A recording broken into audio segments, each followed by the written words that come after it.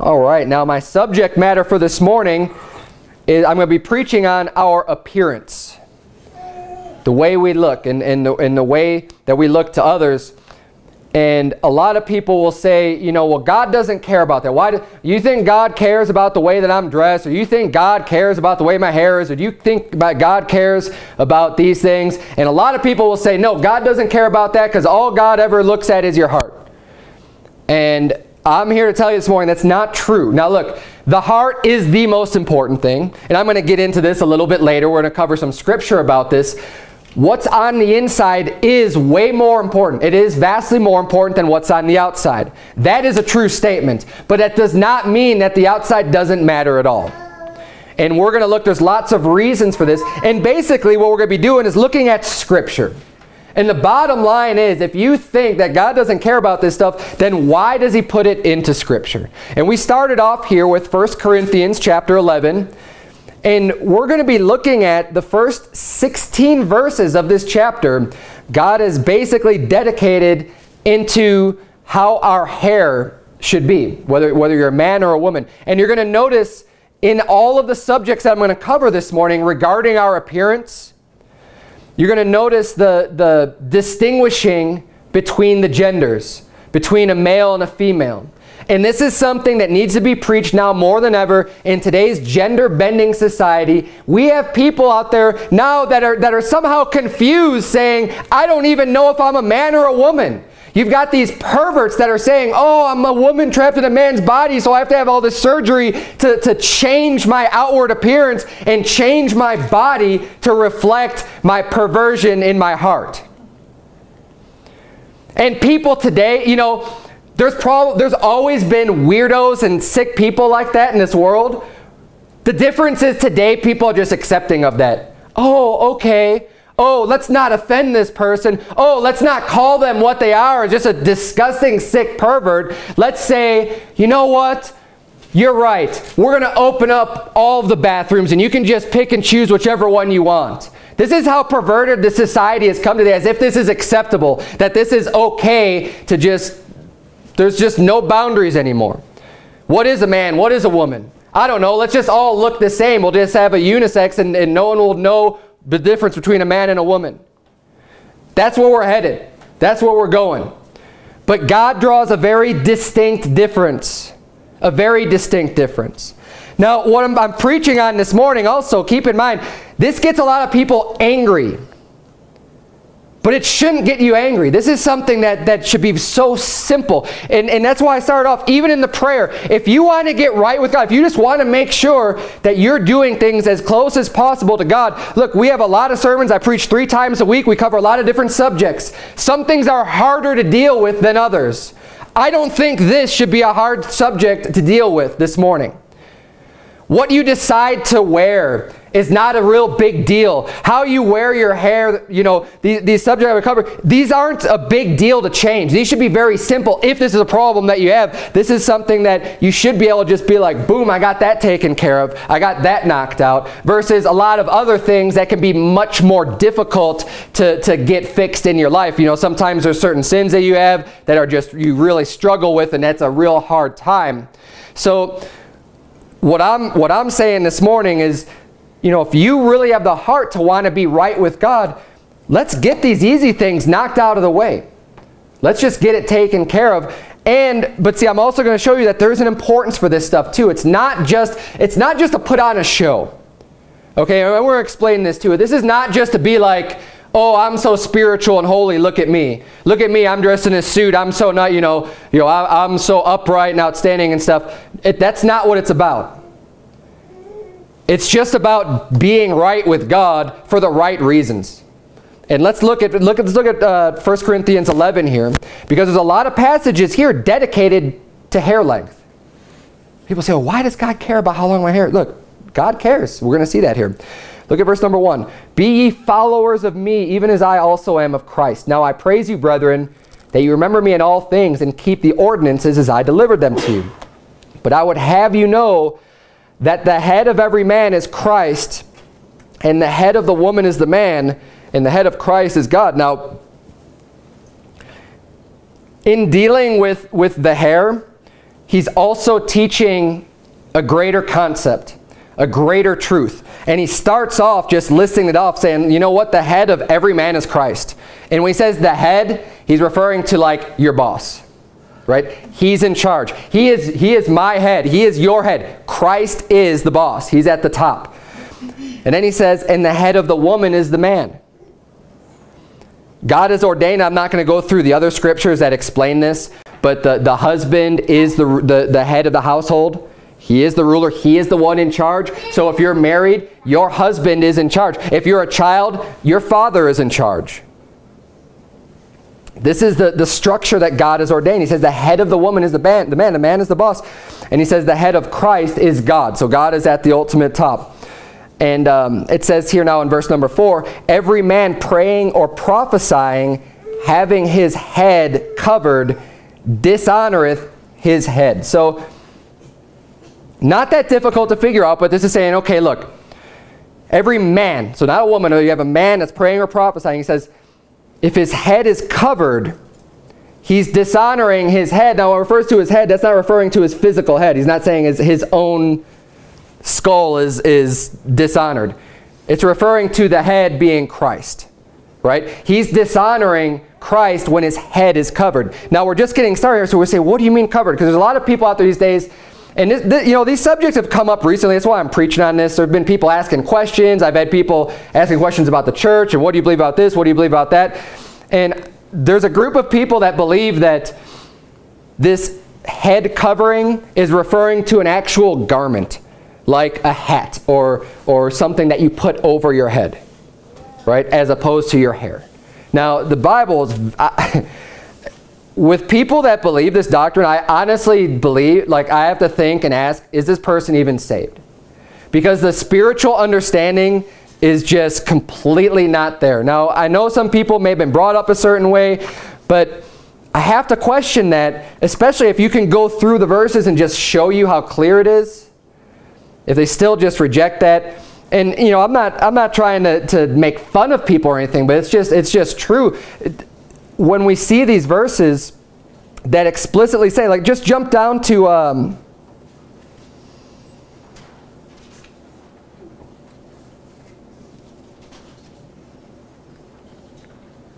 oh, where is it? Yeah, 15. Thank you. Verse 15. But if a woman have long hair, it is a glory for, to her, for her hair is given her for a covering.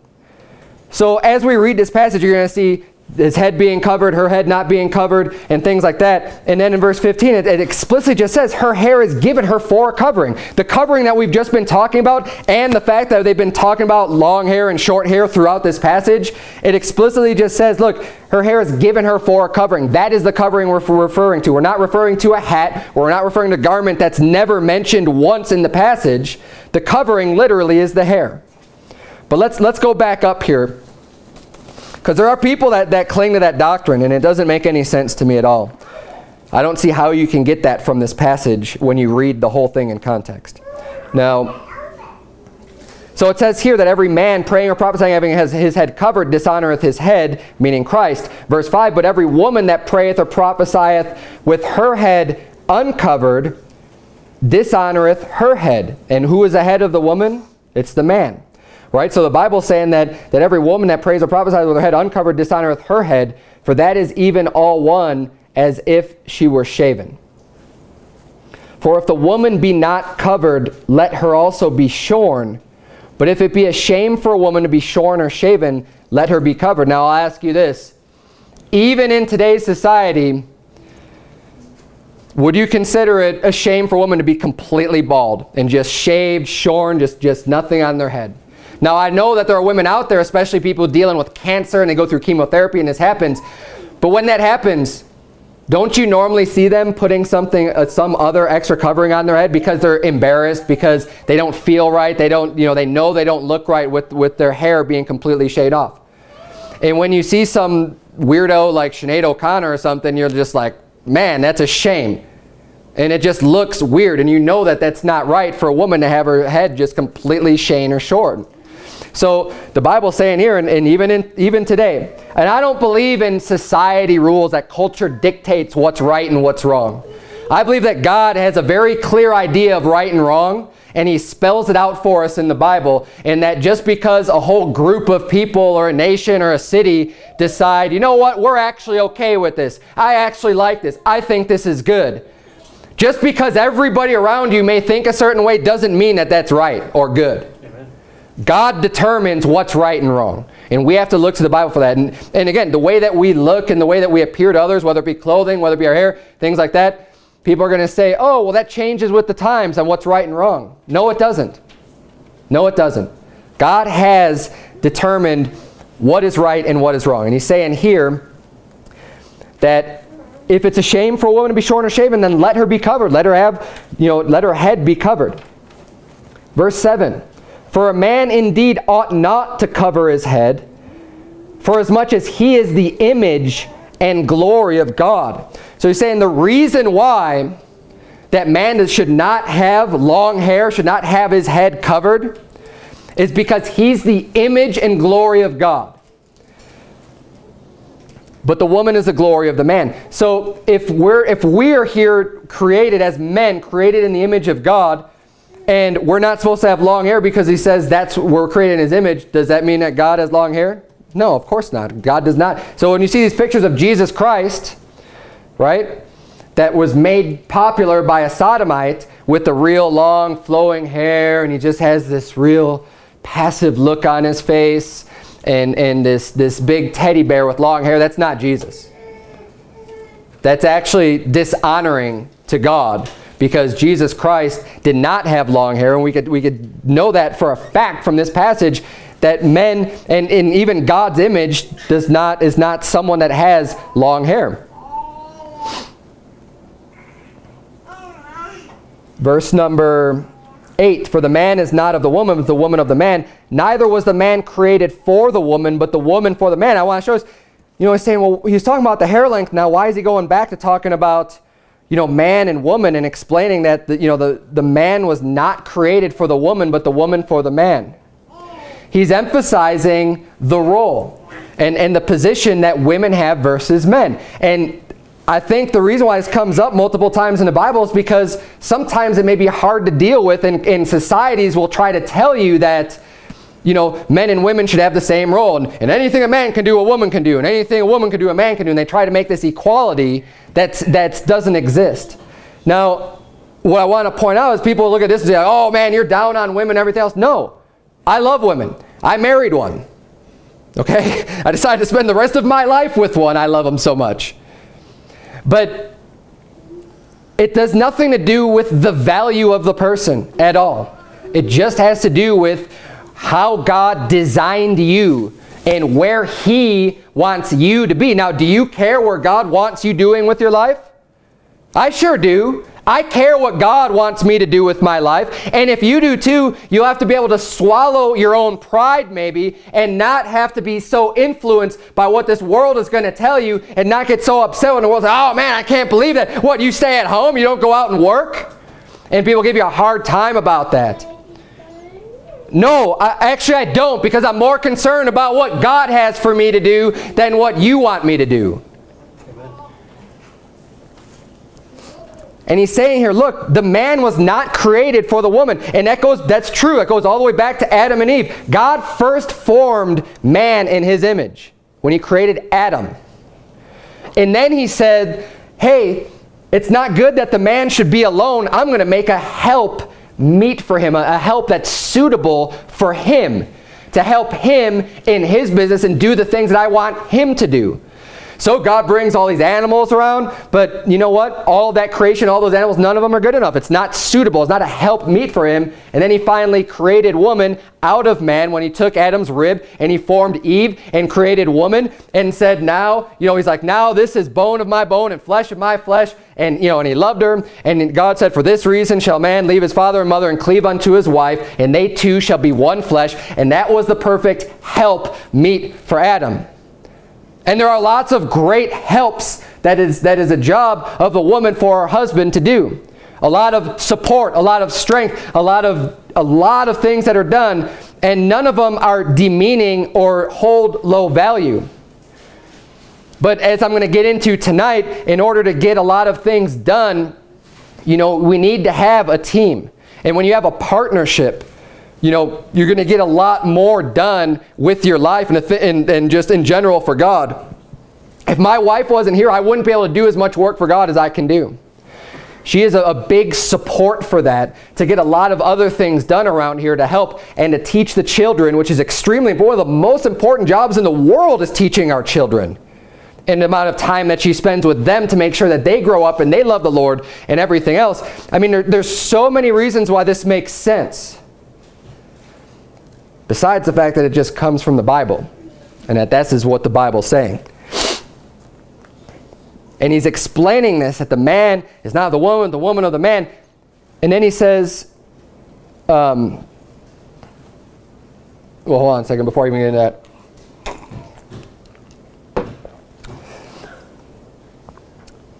When a woman does not have her head covered, she's dishonoring the man. And this goes back and forth to the role that a man and a woman have and how it's represented on their head. And it's interesting to me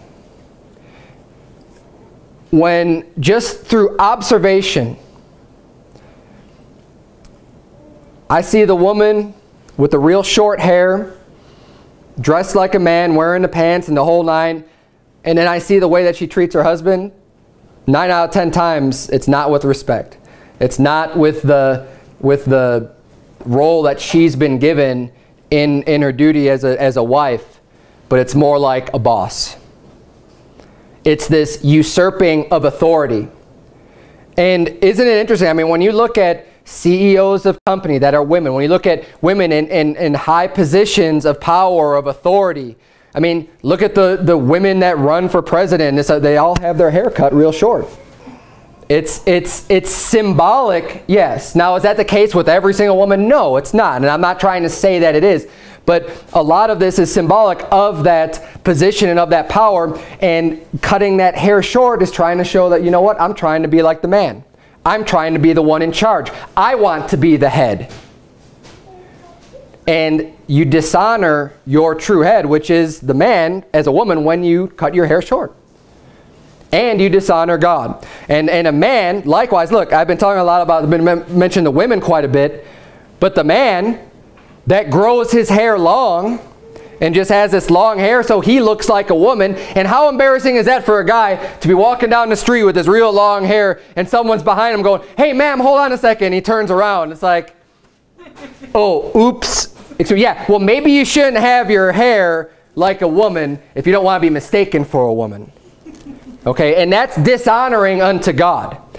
And, and we, should, we ought to treat this seriously. Like he created you in his image. Don't veer off from that. Don't be rebellious. Say, oh, I don't want to look like that. Oh, and then people have the long hair. And look, I, I used to have long hair because I was stupid and brainwashed by society. Back in the 80s when mullets were pop popular, you know, yes, I had one. Okay? This is Mullets Anonymous, and, and I am telling you that I had that. But it was stupid and foolish, and all it was is because I was following the ways of the world. Whatever the world said was cool or popular or whatever I did. And it was this, this, and you know what? It was tied also in the rebellion of rock and roll. Because I was really big into music. I love the heavy metal. I love the rock. I love all this stuff. And you know what they did? They all had the really long hair. And you know why? Because it was rebellious. Even going back to like the 60s and 70s, right? There were certain bands like the Beach Boys and even the Beatles were talking, you know, people, society would look at that and say, oh, these were good guys. These, these were the nice, clean cut guys. But then you start having these other rock bands, these long hairs, right? And, and you know what? Praise the Lord that the society actually used to be like that. We could look at that and be like, that's a shame. What's wrong with you, man? Why are you walking around with long hair and it's just to be rebellious? Because he's dishonoring his head because he has no respect for the Lord Jesus Christ. That's why they do it. They have no, they don't care. They're being rebellious against their head. And if look, if you've never heard this before, look and see what the Bible says here in 1 Corinthians chapter 11 and tell me that I'm wrong. Because a lot, a lot of people, when they hear this, especially if they're, if they're guilty of this, be like, well, mate, I, man, I have long hair. They want to just be like, but I love God. No, I, you know, I'm not dishonoring my head. No, I wear my hair because of this, because of, you know, whatever stupid reason. Don't make excuses. Look at what the Bible says here. And it says, look, you're created in the image of God, and it's a shame for your head to be covered. Look at um, verse 13. The Bible says, Judge in yourselves. Is it comely that a woman pray unto God uncovered? Verse 14, Doth not even nature itself teach you that if a man have long hair, it is a shame unto him? But if a woman have long hair, it is a glory to her, for her hair is given her for a covering. He's saying even nature tells you this. As an instinct, as, as a child growing up, you can see this, that it's normal for women to have long hair and it's beautiful and it's pretty and it's something that, that's, a, that's something that women like to have versus men having the short hair. I mean, you can see the difference right away. And it doesn't have to be taught that there ought to be a difference between men and women because we're created so differently. There's obviously a difference between men and women, and we ought not to try to blend those differences and say, oh, yeah, none of this stuff really matters. And definitely, I don't think after reading this chapter you could say, oh, well, God doesn't really care about my hair. God doesn't care if it's long. God doesn't care if it's short. Well, then why did he dedicate all these verses to this subject?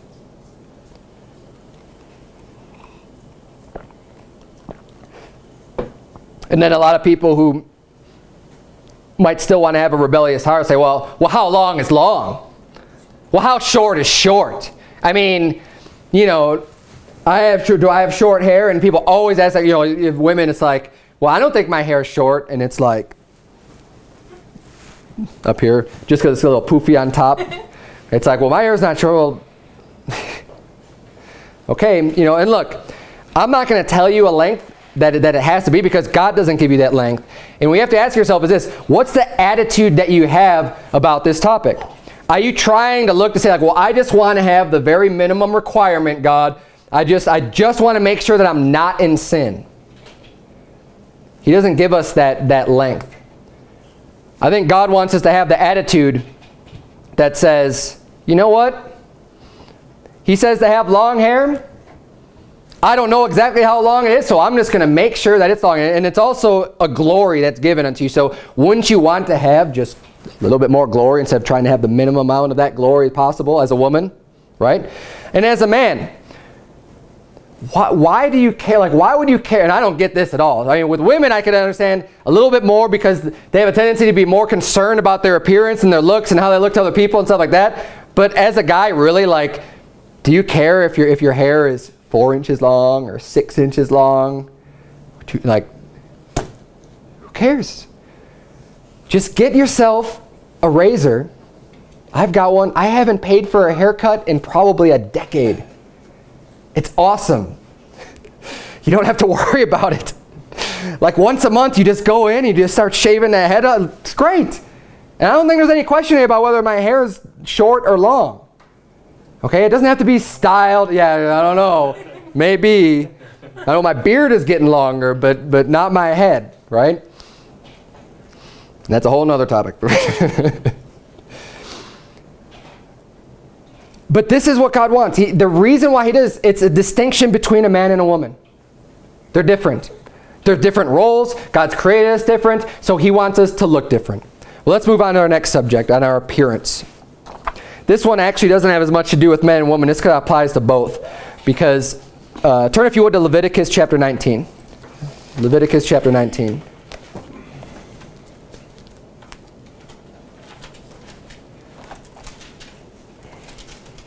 This is a shorter point. I've got three main points I'm going to get into this morning. But we're dealing with our appearance. And does God care about our appearance? Well, I think we've proven beyond a doubt that God does care about our hair. So we ought to just get right with God and, and follow what the scripture says. Even if you don't understand it, I mean, it's what it says. Look at Leviticus 19, verse number 27. The Bible says, "You shall not round the corners of your heads, neither shalt thou mar the corners of thy beard. And, you know, it's kind of, this is kind of a difficult verse to understand. You look at it like, say, round the corners of your head. Well, I don't have corners, you know, our, our, our, we don't have blockheads, right? So the corners are usually like the edges. And he says also not to mar the corners of thy beard. Like to, to mar would be to, to mess it up, right? It's not just shaving, but he says to mar it. And what I think this is, what I think this is talking about personally, it's just doing weird, stupid, you know, people write things in their head, in their hair, and and, and make these weird shapes and designs and, and other things in their hair that draws attention to them and makes you look just different other than just kind of the way that God made you. He's saying, I think he's saying, don't mess with all the, you know, with, with shaping and, and doing all this stuff with your hair. Let it grow the way God made it. You know, get a normal haircut and, and that's what they're saying. But verse, look at verse number 28. He says, Ye shall not make any cuttings in your flesh for the dead, nor print any marks upon you. I am the Lord. So a lot of people today like to get tattoos, right? And they say, oh, well, this, they have a lot of meaning usually. A lot of, you know, I mean, some people, they have no meaning at all. They're just following the crowd. They're being a sheep. They're just, you know, every, everyone that's cool has a tattoo, so I need to go out and get a tattoo. Oh, the tramp stamp is a popular thing, so I'm going to go out and get one of those. Whatever it is, you know, people go out and do this stuff. Some people, though, they're like, no, you know what? This has a lot of meaning to me. I had a friend in college once that, that he got this, this tattoo, and I'm not even explaining all about it, but he had this, this real deep meaning. It was something that meant a lot to him in his life. And whatever, I mean, I understand people do that. But just because you have all these reasons and it means a lot to you, again, that doesn't mean that it's right to do. So when we look at the Bible, we look at Leviticus 19:28, it says, not to print any marks upon you. I think that's pretty straightforward to saying, look, and he says cuttings in your flesh. Not to make cuttings in your flesh. And when you get a tattoo, you're cutting, they're actually cutting the flesh and inserting the ink into your flesh. You're making a cutting and you're printing marks upon you. And he says not to do that. I am the Lord. Also in um, Leviticus 21:5, it basically says the same thing. They shall not make baldness upon their head, neither shall they shave off the corner of their beard, nor make any cuttings in their flesh. Okay, so twice here we see about the cuttings in the flesh.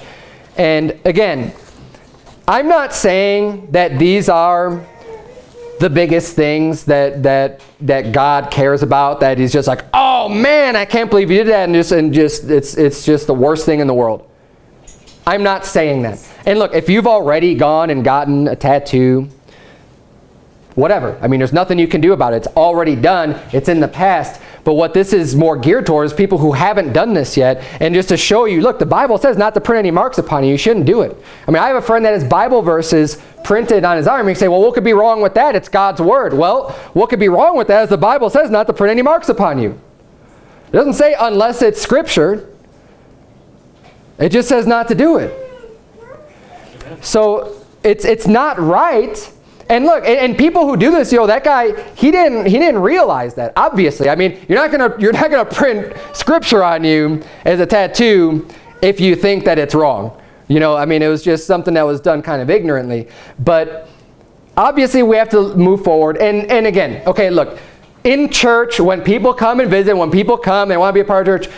Just because someone may have a tattoo or if a woman comes in with short hair or whatever, we don't just look down on these people. That's, that's not the point. If, if that's what you think the point is, you're completely missing it.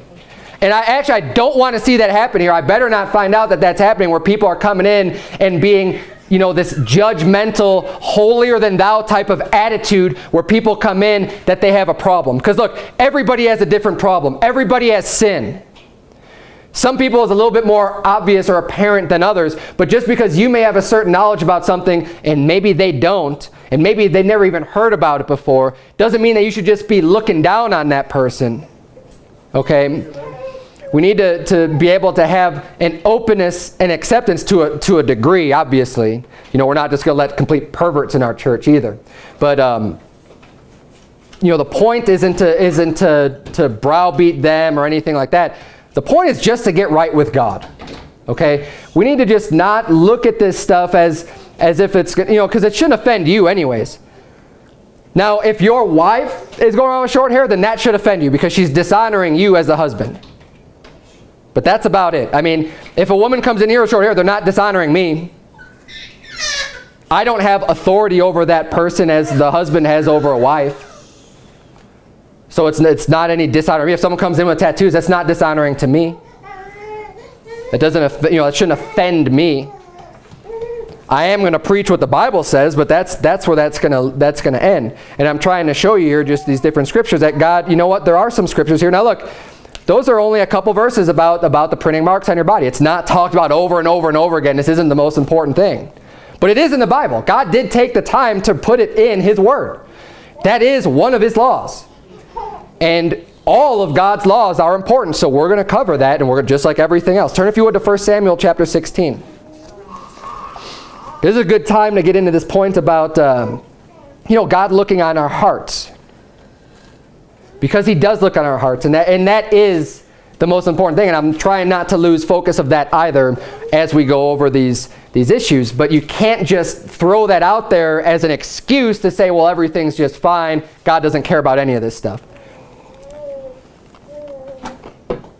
In 1 Samuel 16, we see the story of Samuel and how God was replacing Saul as king. God didn't want Saul. Now, Saul was chosen as king. When Saul was chosen, all the people were like, wow, this is the king because the Bible says that he was head and shoulders above every man. So he was this tall guy, right? And when people look at him, you could be like, wow, I could see, you know, eh, carnally speaking in their flesh, they could be thinking like, I can see why God chose this man because He's, he's a taller than everyone. He's got strength. You know, he's going to be a mighty man of war. And if you remember, that's why the people wanted a king in the first place, was to go out and protect them and fight their battles for them and to lead them. That's what they wanted. But that's not the real reason why God chose Saul. God chose Saul because he was little in his own eyes. He was humble. And, and if you remember when they, when they were looking for him, when they were anointing him king, he was hidden among the stuff. He didn't even want to like come out. He was kind of, I don't want to say embarrassed, but you know, he, he didn't, he didn't want to be the center of attention. He was real meek. And that is why God chose him. But Saul's heart changed when he got in that position. And Saul rebelled against God and he thought that he was doing right even when he was singing. And, even when he was rebuked by the man of God, he still had this rebellious heart and attitude saying, well, I, I didn't do what was wrong. I'm doing what's right. And God, you know, took away his kingship because of that. And God, and here is where um, Samuel is going to anoint the next, who's going to be the next king, which is David. Look at verse number 1 of 1 Samuel 16. The Bible says, And the Lord said unto Samuel, How long wilt thou mourn, wilt thou mourn for Saul, seeing I have rejected him from reigning over Israel? Fill thine horn with oil, and go, I will send thee to Jesse the Bethlehemite, for I have provided me a king among his sons. And Samuel said, How can I go? If Saul hear it, he will kill me. And the Lord said, Take an heifer with thee, and say, I am come to sacrifice to the Lord. And call Jesse to the sacrifice, and I will show thee what thou shalt do. And thou shalt anoint unto me him whom I name unto thee. And Samuel did that which the Lord spake, and came to Bethlehem, and the elders of the town trembled at his coming, and said, Comest thou peaceably? And he said, Peaceably, I am come to sacrifice unto the Lord. Sanctify yourselves, and come with me to the sacrifice. And he sanctified Jesse and his sons, and called them to the sacrifice. And it came to pass when they were come that he looked on Eliab and said, Surely the Lord's anointed is before him. So when he sees Jesse's son Eliab, he's thinking like, wow, this must be the man that God has anointed to be the next king over Israel. Just by looking at him, he's just thinking like, this must be the next king. Look at verse number 7. But the Lord said unto Samuel, Look not on his countenance, that's on his face, on the way that he looks. Don't look at the way he looks or on the height of his stature, because I have refused him. For the Lord seeth not as man seeth. For man looketh on the outward appearance, but the Lord looketh on the heart.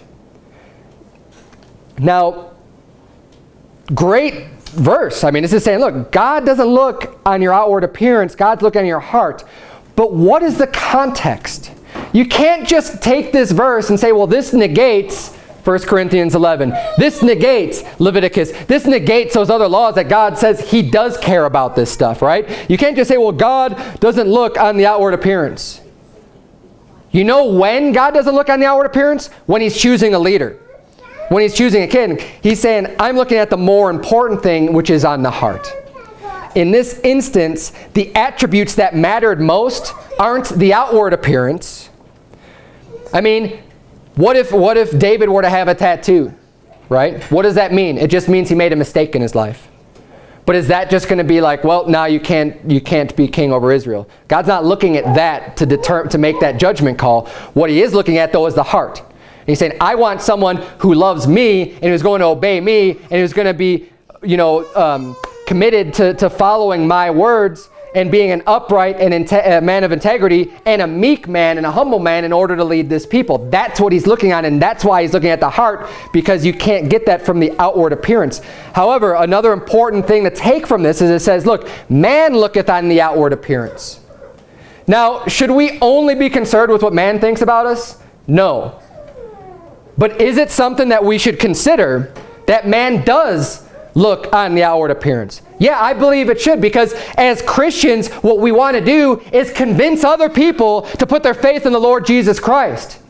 We want to be effective at sowing. We want to be effective at convincing people, hey, this is right. This is true. And when you go out and you have a poor testimony and you have this, this poor outward appearance that is contrary to what the scripture says, that is going to have an impact on the way people think about you and it's going to have an impact on how much work you can do for God. Man does look on the outward appearance. It does make a difference. For example, you know, as I mentioned earlier, I wear a suit every time we have church. Every single time I get behind this pulpit. Why? There's many reasons why. One is because I consider this job extremely important. I think this is a, a, very important position to have, and I don't treat it as nothing. I don't treat it as if, you know, I'm going to the beach for example, and I'm just taking a day off. No, I'm working and I'm working hard. And it's just the way people are. You look at the, out, the outward appearance. You know, this is a position that ought to what that ought to have respect. Now, look, respect is earned. It shouldn't just be given, you know, just freely. But in this position ought to be a man filling it that is worthy of respect. And the way that you present yourself is going to have a big influence on that and even just the things that you wear. Um, you know, if I, if I were to go to someone else's wedding, right, you're invited to a wedding, and I were to show up in flip-flops and shorts and a tank top, right? Just, just real, hey, how's it going? Maybe a wife beater and, you know, in shorts and flip-flops, right? Just show up looking like that.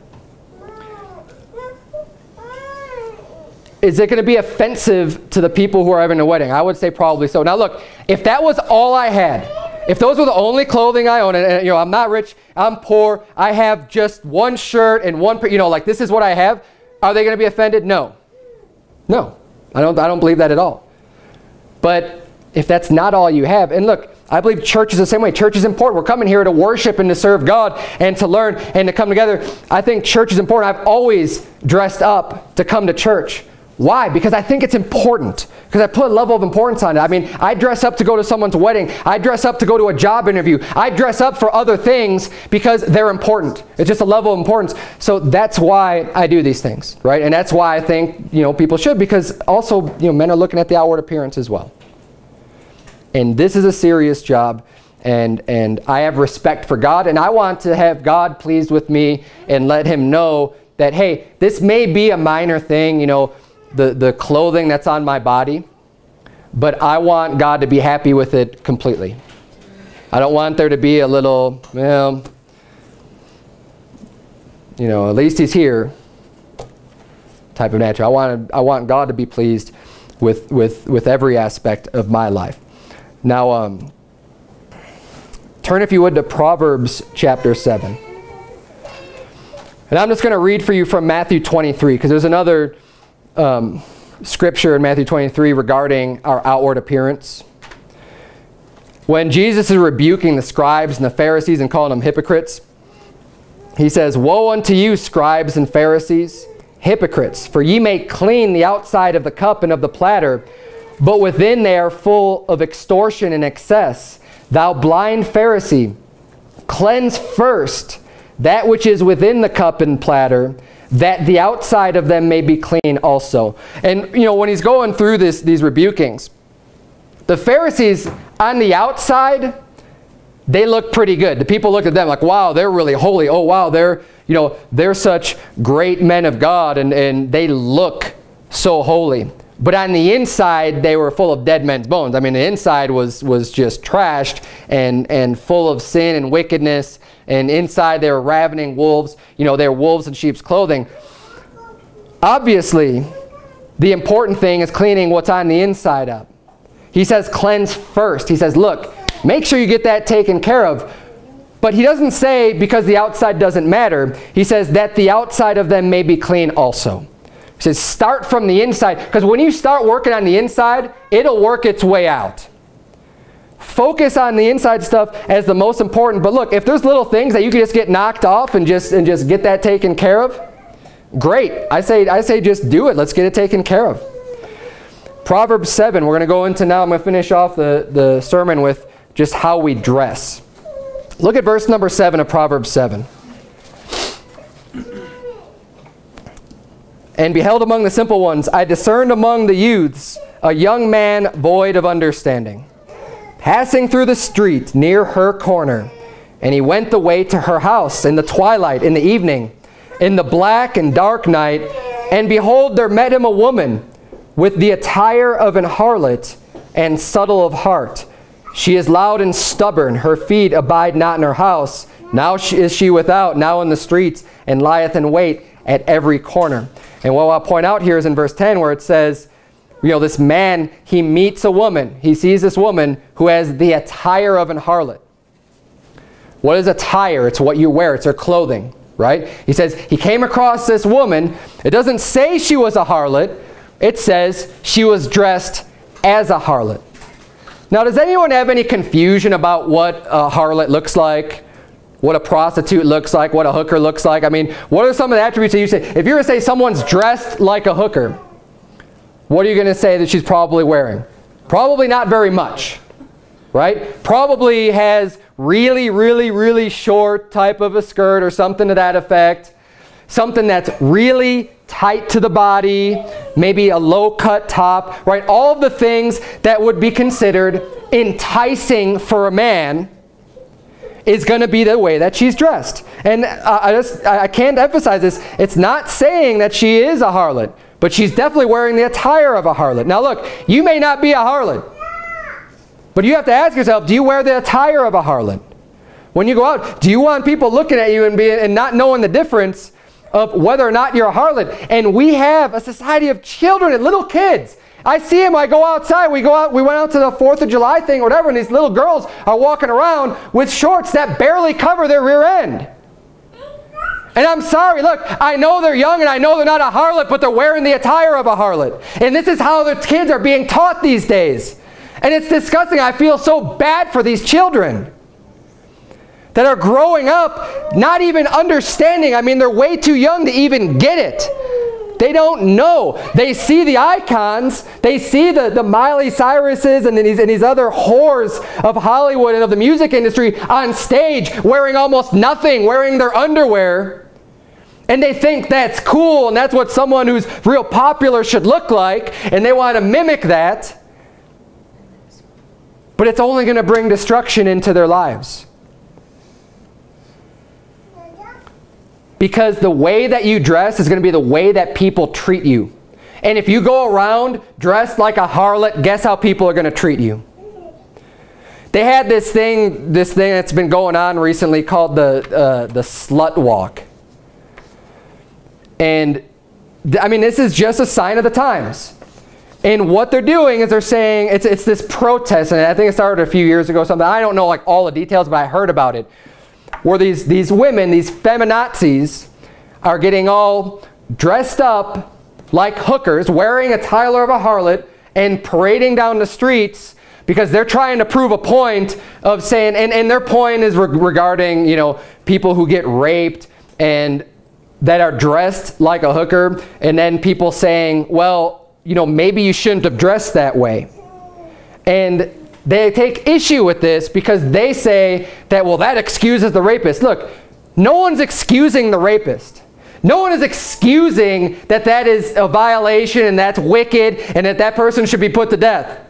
That violates a woman just and just completely forces her. Okay, we're not disputing that. However, if you're going to walk around in enticing. Look, these people exist. Rapists are out there. There are wicked people out there. Why would you want to, to provoke that in any way, shape, or, or form? I mean, the, you know, these, these feminists try to say, oh, but you should be able to wear whatever you want. Look, that's not the way the real world works. And if you're going to walk around looking like a slut, they call it the slut walk, then that's how people are going to treat you. What, uh, you expect not to be treated like a slut when you look like a slut? The Bible says abstain from all appearance of evil. All appearance of evil. You say, but I'm not a hooker. I'm not a prostitute. Then don't look like one. Amen.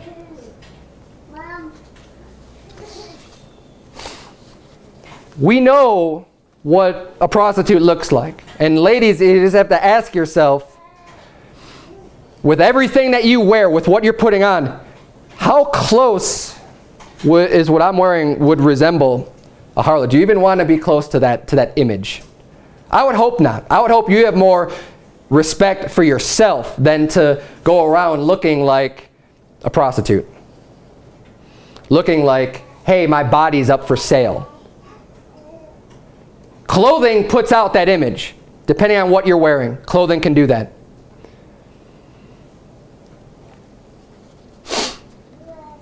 You shouldn't be naive enough to think that, that men aren't enticed by what you wear. You could say, but I'm wearing a dress. Yeah, but is it completely stuck to your body and you can see in every single curve that you have? The Bible talks a lot about modesty. We're going to get into that in a little bit. But um, turn, if you would, to Deuteronomy chapter 22. As we saw with the hair, you know, with, the, with what we wear with our clothing, there's also a difference between men and women.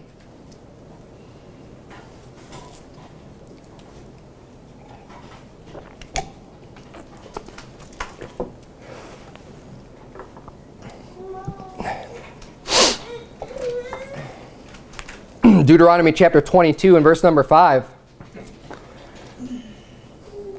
Very simple verse. The Bible reads, The woman shall not wear that which pertaineth unto a man. Neither shall a man put on a woman's garment. For all that do so are abomination unto the Lord thy God. So God has a real simple command here, and he says, look, if you do this, you are an abomination unto God. Abomination is a strong word. Not found very, uh, very frequently in the Bible. It's, it's an extreme hate, right? It's an hatred. It's what abomination is. If someone does something that's abominable, that's something that's hated in God's eyes. And God says, okay, when a woman puts on clothing, when she wears that which pertaineth unto a man, or, and when a man puts on a woman's garment, that is an abomination unto God. You say, well, what is he talking about here? A man's garment, a woman's garment? As I mentioned earlier, does, is, that, is this determined based on our culture? Do, do you think God's attitude changed? When God made this verse in the Bible, when God spake these words, and in his mind and what God's thinking, is, is he thinking throughout all time and saying, you know what? This verse is going to change from decade to decade to decade to decade to decade. And whatever the world comes up with, as being a man's garment and a woman's garment, well, that's just going to be the way it is. And, you know, maybe one day if someone says, you know what, there's no such thing as a man's garment or a woman's garment, then I guess this verse will just have no meaning because man has determined it. Does anyone here believe that to be true, that God just has no standard for this and he had nothing in mind when this verse was penned down? Because I don't believe that. I don't believe culture or society gets to dictate what is considered a man's garment or a woman's garment. I think we could find all of our answers in the Bible. Now, common sense ought to teach this too.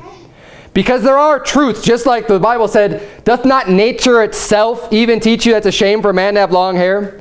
This is something that you don't need that much definition on because just as a normal human being given a conscience by God, we, we know we could feel and just know what's right and wrong in general as far as things that are natural versus unnatural. let's start with the women. All right, let's start, excuse me, let's start with the man. A man putting on a woman's garment. Let's start with women's clothing. Or just clothing in general. So if a man were to put on socks, is a man putting on a woman's garment? Because women wear socks too, don't they? Do you think that God is talking about socks when he wrote this verse? He's saying, you know what? Men, if you wear socks, you're putting on a woman's garment. I don't think so. What else do we wear? Shoes. Again, same thing. I, I, don't, I don't think that's what he's talking about. What about a shirt? So women wear shirts, right? Shirt has a, has a neck, has some sleeves. Shirt covers the top part of your body.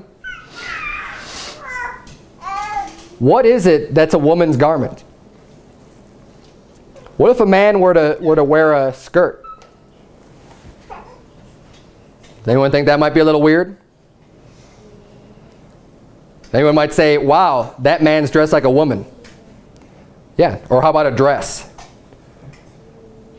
These are things that are, you know, it, it's silly. It almost seems silly to me that I have to even say these things from behind the pulpit.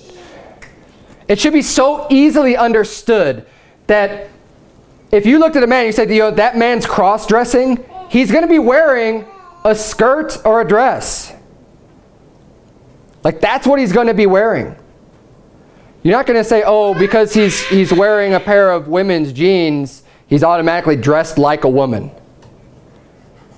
Now, it may look kind of silly or funny if they're real tight on him and look stupid. And, and you know what? I don't think you should be doing that either. But you're not just going to automatically just be like, wow, that man's dressed like a woman. So finding, determining what's a woman's garment is pretty, seems pretty simple, right? That's not difficult. But then the problem comes in when, well, what's a man's garment? I mean, if we've identified skirts and dresses, yeah, you know what? Those only belong to women. Well, what only belongs to a man? Again, is it a coat or a shirt There's only one thing that I could think of that's going to differentiate, and it's the same symbol that you'll see on the bathroom door. If you want to know the, internationally what's the difference between a man and a woman, they put it on bathroom doors. And the man, you see a man with pants, and you see the woman wearing a dress. And that's the symbol of a man wearing a man's clothing and women wearing women's clothing. When I believe, and we even see this in the Bible. In, um, you can turn to Exodus 28 if you'd like. Now the Bible doesn't use the word pants, but it uses the word breeches. Okay, breeches is just an older word for, for pants, right? You're getting too big for your breeches. It's an old expression, but it's just talking about you're getting too big for your pants. And breeches are mentioned five times in the Bible. And I'm not going to go through all five of them, but every single time it's mentioned, it's referring to men wearing them. Never referring to women wearing breeches. But um, in Exodus 28, verse 41, the Bible says, And thou shalt put them upon Aaron thy brother and his sons with him, and shalt anoint them, and consecrate them, and sanctify them, that they may minister unto me in the priest's office. And thou shalt make them linen breeches to cover their nakedness, from the loins even unto the thighs they shall reach. And they shall be upon Aaron and upon his sons when they come in unto the tabernacle of the congregation, or when they come near unto the altar to minister in the holy place. So that's just one of the mentions of the breeches that were, that were made for the priests. And we see here that the purpose of these was to cover their nakedness. Right? It says, Thou shalt make them linen breeches to cover their nakedness. So what nakedness is he talking about? He says, from the loins even unto the thighs. The loins is your middle section unto your thighs, and your thigh extends all the way down to your knee. That's, that's the anatomy, you know, the anatomy lesson. Your thighs go from your loins up here all the way down to your knee.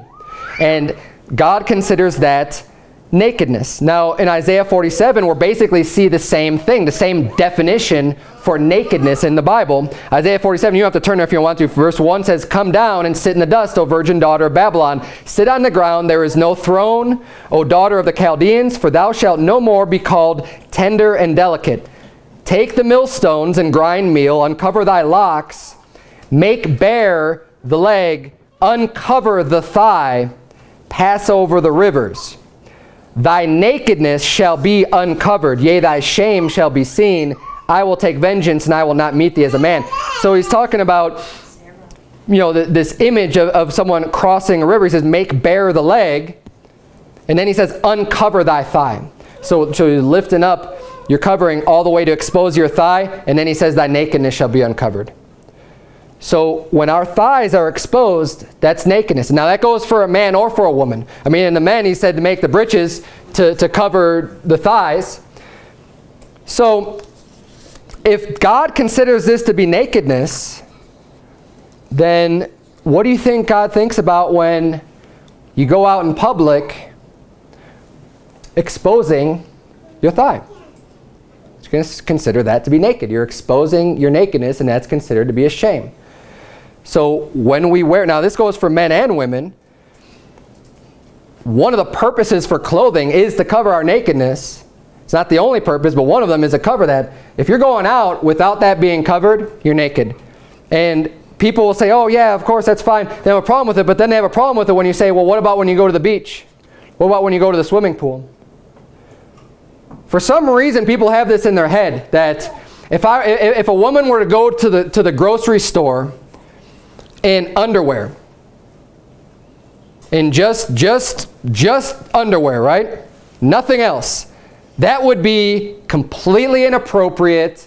You know, women would be covering their children's eyes and people, you know, it would be considered a big shame, right? And people are like, wow, what is this person doing? But if it's called a bathing suit and you go to the beach, everybody's okay with it. No shame, no problem, right? I mean, go ahead and wear your little thong, your little bikini, and, and you know, have all of your thigh exposed with just a little bit covered. And that's fine. Not according to God, not according to the Bible. We need to keep biblical definitions and, and understand, hey, when God says this is nakedness, this is nakedness. And even men, I mean, I remember back back when I was in grammar school and stuff in in the 80s, they would have they used to have these really short shorts like for for PE. I hated those things. They're always real uncomfortable. It's like why do we have to have these things so short? You know, I always like wearing the the longer shorts anyways. And that's I think that's just one of those natural things as well. Like you just feel naked when when you're just not have anything covered even up your thighs. And hopefully that's the way you feel about it. But even if you don't feel that way, the Bible does define that as nakedness. So it, it's not okay based on a situation like, oh, well, it's not naked because I'm at the beach. Well, that's just stupidity. Because it's nakedness no matter where you go. Turn, if you would, to 1 Timothy chapter 2. I'm going to try to hurry up. here. man, I spent a, lot, a little bit too much time on some of these points. 1 Timothy chapter 2.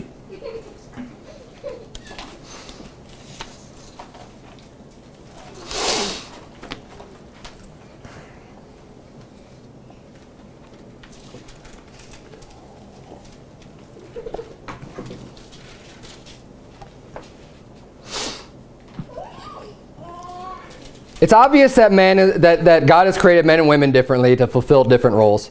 And um, we're going to see here in 1 Timothy chapter 2, um, again, this is more geared towards women. There's, probably overall, there's, there's more regarding the, the, the hair. Well, the hair goes for men and women, right? But it seems like we have more of a problem with the way that the women are being taught in our culture as far as their hair and their clothing and all this other stuff than on the men. The attack hasn't come as hard on the men as it's come on the women. For whatever reason, you know, Satan's been going after the women trying to make them more like men. And have convinced a huge group of people in this country of women that think that in order for them to be valuable, in order for them to have respect, in order for them to be considered having meaning in their life, they have to be more like a man. That thinking in itself is degrading to women. To say that in order for me to have value, I have to be as much like a man as possible is degrading. No, oh, and, and don't miss this point because I think that women should be as much like women as possible. And I think that men should be as much like men as possible.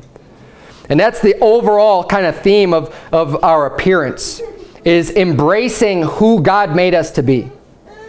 Did God make you a woman don't try to look like a man. Don't try to act like a man. Don't try to do the things a man does. Look, be feminine. Be a woman.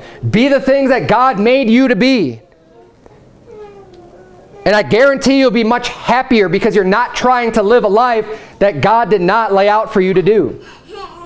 And men, the same thing. Okay, don't try, try to be a woman. Don't be the, the stay-at-home dad. like, oh, you know what? I'm to let my wife's to go out and work, and I'm going to take care of the kids, and I'm going to do all this stuff, and I'm going to prepare the meals, and I'm to do, you know, look, that is not what God made for you to do. That's not your role. That's not your job. And that's, that's starting to come a little bit more into, into play these days. But the only reason that's even become an issue now is because the women have been taught to go out and to get their job and, and to be successful and to do all this other stuff and to leave the kids at home and you're just as good as a man. And it's like, look, it's not about being as good. It's, that's not what you're designed to do. But look at 1 Timothy chapter 2, verse number 9. In like manner also, that women adorn themselves, adorn is what you put on, in modest apparel. Now, what does that word modest mean?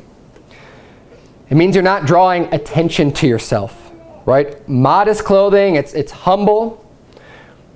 It's not saying, hey, look at me. Hey, look at what I'm wearing. Or, hey, look at my body, right?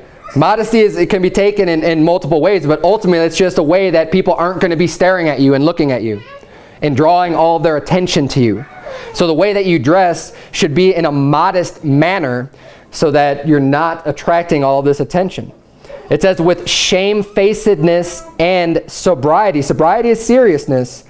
Not with broidered hair or gold or pearls or costly array. So you're saying don't deck yourself out so fancy so people you're glittering and shimmering and people like, oh wow, look at all, you know, look at you, look at what you're wearing, look at this. That's not modesty, that's immodest. It says, but which becometh women professing godliness with good works. You want to adorn yourself in a way that's going to bring you respect, that people are actually going to respect you as a woman? Do it with good works, not with showing off your body or showing off your goods or how much money you have. It says with good works Verse 11, let the woman learn in silence with all subjection, but I suffer not a woman to teach, nor to usurp authority over the man, but to be in silence. And again, we start seeing the differentiation between what God has made men to do versus women to do. Um, I'm going to skip over that. 1 Peter chapter 3. 1 Peter chapter 3, the last place I want you to turn today. This, is, this one is in regards to what we are wearing as well. 1 Peter chapter 3, right near the end of the Bible.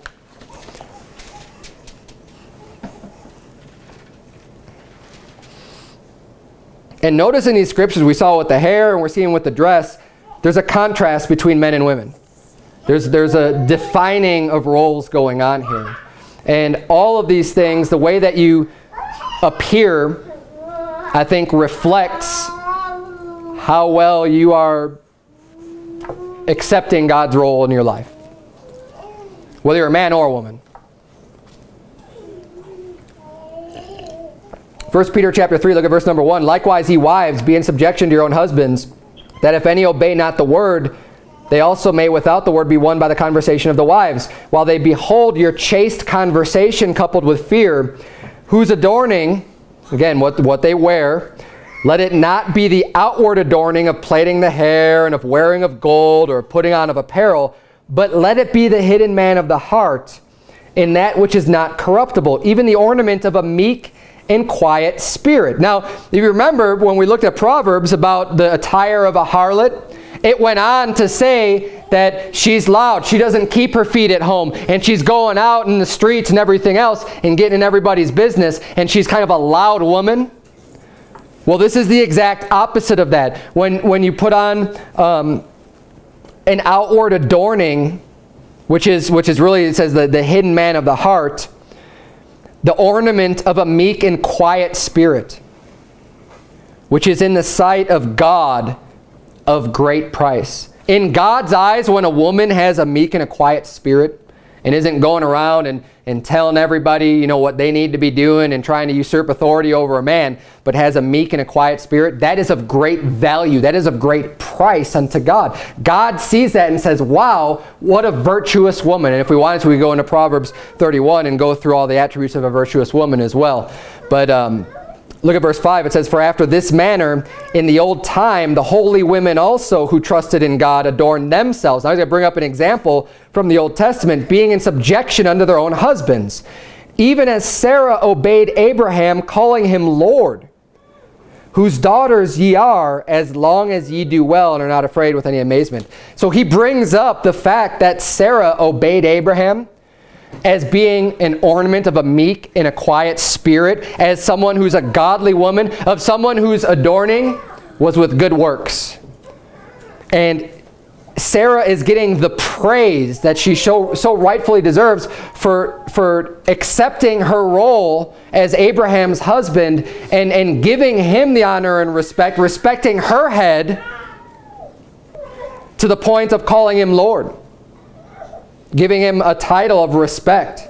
Now, of course, Lord doesn't mean like the Lord in heaven, but it's a, it's a word that has a similar meaning where he's basically the boss.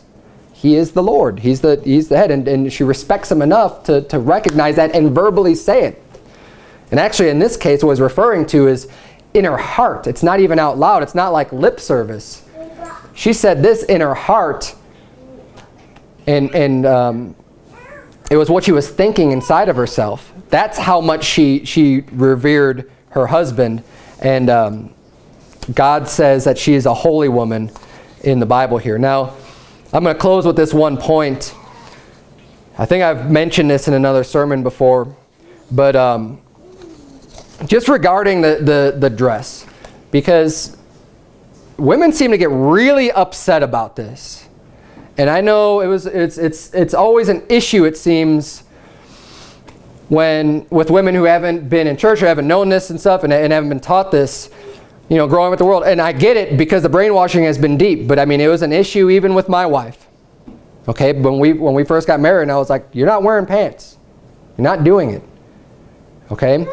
Because of all the scripture in the Bible. And people, you know, I, I, don't, I don't see why it's so difficult. I really don't. Like, I don't think it's that hard to understand. I think it's more of just this, you want to cling to something because you like it, right? I mean, maybe it's comfortable or whatever for you, but um, you're clinging to something that the world has already brought you up in the wrong way and has, has taught you that this is right. But it hasn't always been that way either. I mean, you look back historically, even just throughout history, even throughout the world, not, not in, you know, Bible believers and in churches and people who love God and respect God and His commandments, just throughout the world in general, this is something that has been looked on as, yeah, of course, women don't wear pants, men wear pants. This has been throughout history. Now look, you can look back in time and find, you know, hundreds of years ago, something about some women wearing pants somewhere. And I know there's it's not like this is brand new. Things have been going on, but by and large, when you look over time, men and women have dressed differently, and the pants is a big thing. Now, I saw this article years ago, and this is stuck out in my mind. It was this fashion designer had died. I think it was in 2008. So I, I have this, I have some quotes from an article from USA Today that I'm going to read for you from 2008. And they were trying to recognize this man who was a fashion designer, and he was known for putting women in pants back in like the 60s or something. Like this was a big thing. And um, the man was a flaming sodomite. Which, I mean, that probably doesn't surprise you he's in the fashion industry and all this other stuff. I mean, these guys that do this, all this women's fashion design are usually homos anyways.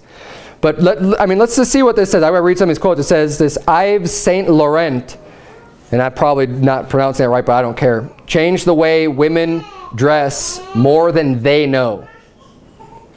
The Algerian-born designer who died Sunday at age 71 was the champion of beatnik black pro or pop art prints, safari jackets, and peasant skirts, still fashionable decades later, but his most enduring legacy is so pervasive as to seem almost unremarkable. Pants. St. Laurent's elegant pantsuits broke barriers between the sexes. A sartorial revolution that fit a social one and changed the way generations of women dressed. St. Laurent's signature was taking menswear silhouettes and slimming them down to fit a feminine shape. What he's known for, what he's best, what, what his big accomplishment in life was, was taking menswear, men's clothing, and just making it to fit a woman. That's what this article is saying. I mean, this is just from someone in the world. He's saying he broke barriers between the sexes. And the way that he did it was getting women to wear pants by making this fashionable, by making this popular. This has been an agenda. This didn't happen overnight. And what's been used is Hollywood. When I was reading in one of these articles, it was talking about like Katharine Hepburn and some of these really older actresses. What they would do is they would do these photo shoots and get pictures of them wearing pants because that wasn't common in society. And in their roles, you'd probably see them wearing a lot of dresses and stuff because the, just in general, the public accepted that because that wasn't as common back in the older days, even in this country. But what they do then is they start, and they, they'll start throwing up, oh, well, she's beautiful, and she's wearing this, and these other ladies see that and they want to do the same thing.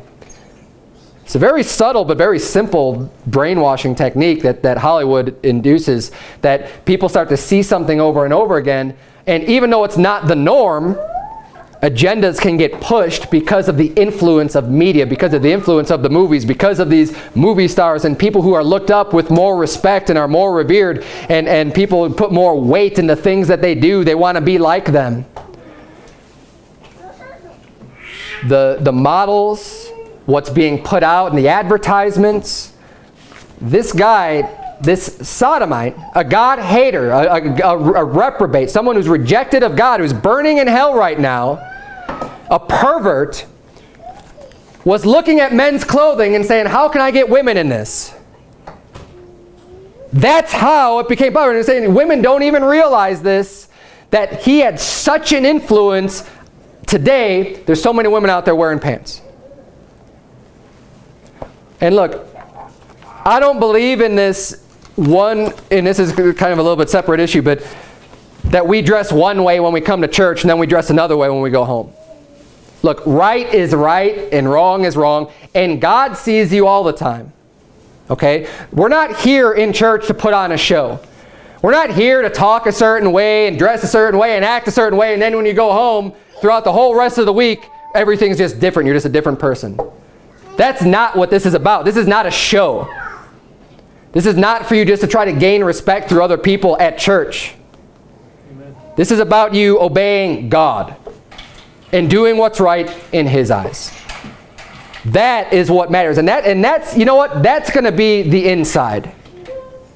When you have a heart that's willing to say, if I'm doing something wrong, if I, if I can see in the Bible that this is not right, God, I will change because I want to be right with you. If you have that heart, hey, that's the important part is on the inside. The outside should just follow easily then. This shouldn't even be an issue then. There should, there should be no problem at all when you have that type of a heart and you can say, you know what? I just want everything, you know. And if there's a question or maybe if there's some kind of a doubt, maybe I'm not 100% convinced, but I can start to see what you're saying and I can see these points. If I'm wrong, you know, what's the big deal? And, and I've said this to my family, it's like, what do you care what my wife wears? Why do you care if we always if she always wears a skirt or a dress? What impact does that have to you? But people get irritated and angry about that. It bothers them. It bothers them because they're doing something and she's not, and it exposes their sin. That's the real reason why. But why should it even matter? I mean, think about it. Let's say I'm completely wrong. Let's say I'm 100% wrong for making my wife wear, wear skirts and dresses, which I don't even have to make her. Okay, she's choosing to wear what she wears. But I would make her if I had to because I'm the head of the household. But why, like, what is so horrible about that? This is what I don't understand. What, like, what's the big deal? People make such a huge issue out of this. Why even make the big issue? Even if I'm 100% wrong, okay, so she's wearing skirts and dresses. Oh, that's horrible. No, no. But I, I'm not wrong. And this, you know, the Bible, Levit Deuteronomy does not, it's not just ambiguous, it's not just meaningless. There are garments that pertain to a man and there's garments that pertain to a woman. I don't believe that the world dictates what those are. Let's bow our heads and have a word of prayer. Dear Heavenly Father, Lord, we thank you so much for your words, for your clear teaching, dear God. Sometimes, um, you know, the, the world is, is very skillful the devil is very skillful at, at deception. And for a lot of us who've been raised in the world, like I was, dear Lord, before I got saved, some of these topics might seem foreign. They might sound a little weird at first because the, the culture around us has grown to accept things that are, that are abominations in your sight. God, help us not to, to lose sight of the fact that you do consider cross-dressing an abomination and that there are certain clothes that, that men ought not to be wearing and likewise women ought not to be wearing. God, help us to just have the, the wisdom to know the difference and that we would be pleasing in your sight, dear God, and in every way that we present ourselves in our appearance, dear Lord, that we would be pleasing to you and that we would show the difference, at least in, in among your people, dear Lord, that we can be a, a, a, peculiar people, different, separate from, from this society, and show that we do care about the, the gender distinctions, and that we do love the fact that you created men and women, and you've created us differently, and we're going to embrace each role that you've given us to do because you are our maker, and you know what makes us tick, and you know that what's going to make us um, most joyful in our life. It's in Jesus' name we pray. Amen. Amen.